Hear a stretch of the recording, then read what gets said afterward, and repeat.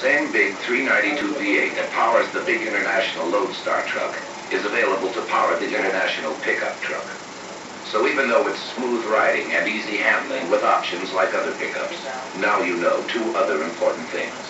An International pickup truck performs like a big truck and lasts like a big truck because it's built like a big truck.